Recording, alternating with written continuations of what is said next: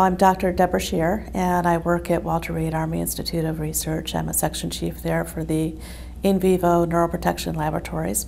Stem cell research has been around for a while, and um, in terms of stem cell research for the brain, I would say back in 1998 99, it really started to take off with uh, discoveries that um, Fred Gage's group and Eriksson, a guy named Eriksson, made when they started uh, going around the country and um, they, they received permission from a number of human patients to look at their brains and they discovered that uh, you know, endogenous neurogenesis occurs in the brain. The thinking for many years had, had been, the dogma had been that we're born with all the neurons we're ever going to have and that we only lose them as time goes on. You know how people joke when they go out drinking, oh, I killed a billion neurons, but I'm still okay. Well, I mean, there's some truth to that, and we do, you know, go, our, our brains do go through a lot of pruning, but there is also uh, tremendous evidence that surfaced over the last decade uh, showing that indeed there are new cells that are born in the brain, and that these new cells do generate not only glial cells, which are the support cells of the brain, but new neurons.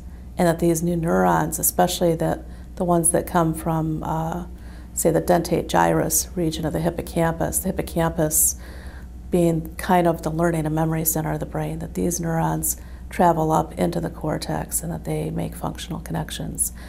And so that started the whole focus of, uh, of uh, different areas of research looking at the possibility of either harnessing these what we call endogenous repair mechanisms in the brain and learning how to use them to promote functional recovery in disease and injury.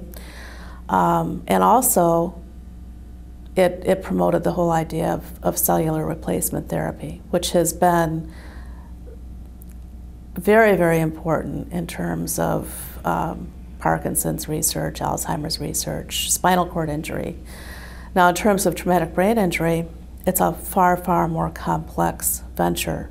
Doing stem cell transplantation and traumatic brain injury, you're looking at replacing multiple cell types. Um, there's Uh, you're, you're not just trying to remyelinate damaged axons in a spinal cord that are arranged in a linear fashion. You're not just trying to replace cells that would innervate the dopaminergic system in Parkinson's disease. But when you experience a traumatic brain injury, especially a severe traumatic brain injury, you're losing all types of cells. When we started this research about a decade ago, I think there was a tremendous amount of excitement in terms of, you know, the thought that we might be able to rewire the brain, to replace that lost circuitry. As time went on, what we kept seeing from study after study, lab from lab to lab, across different cell choices ranging from mouse to rat to human,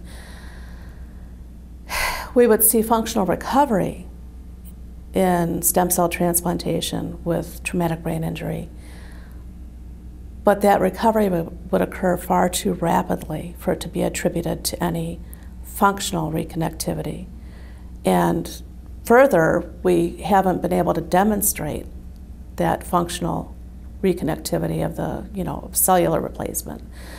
So it's the field has has kind of turned to looking at well the real potential, the real therapeutic potential with these cells is possibly this very elegant, very exquisite um, cocktail, if, if you might say, of, of neuroprotective factors and neurorestorative factors that are secreted by the cells. So they act as little mini living pumps, little living, living mini pumps per se, when you put them in the brain and they put out these factors that will help protect against further cell death and perhaps restore connectivity.